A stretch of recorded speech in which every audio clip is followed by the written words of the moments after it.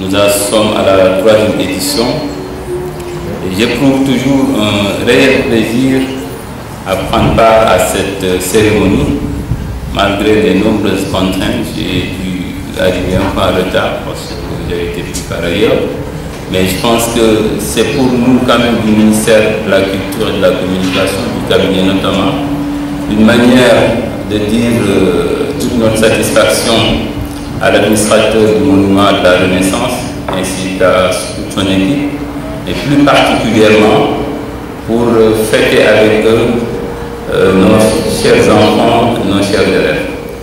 Euh, le monument a depuis trois ans organisé chaque année donc cette cérémonie pour récompenser les élèves des écoles du réseau des écoles partenaires du monument qui par le passé à visiter le monument, mais Racine, en bon enseignant, ne s'est pas limité à cela. Il les a organisés en réseau et tient, quelles que soient les circonstances, quel que soit le contexte, tous les ans à organiser cette fête pour les célébrer. Je pense que c'est une excellente initiative dont nous réjouissons tous.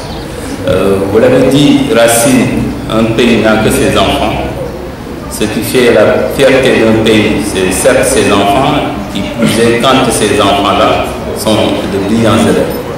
Il y a quelques semaines, euh, il y a deux semaines à peu près, on célébrait nos enfants du secondaire euh, qui ont été primés dans le cadre du concours général.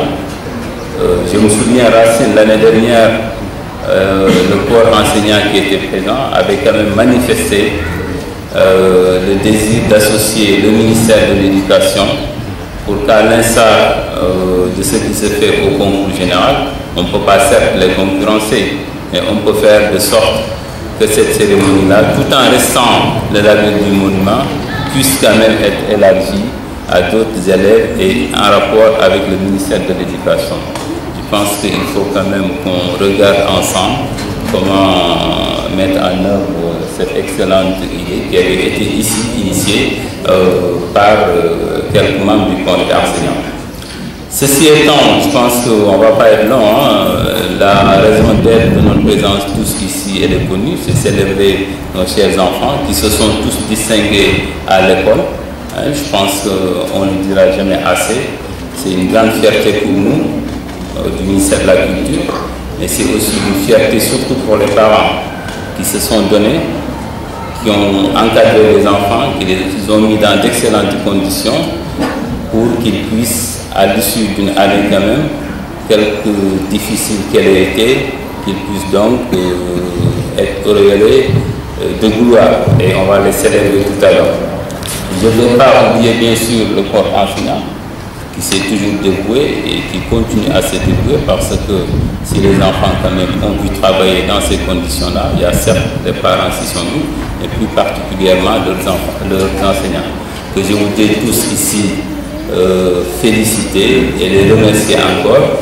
Et pour terminer, je voudrais juste à l'endroit de nos chers élèves euh, leur faire part des propos de M. le Président de la République lors du de la dernière édition du concours général, qui, parlant des parents, disait ceci aux enfants, n'oubliez jamais que vous pouvez des modèles et des héros.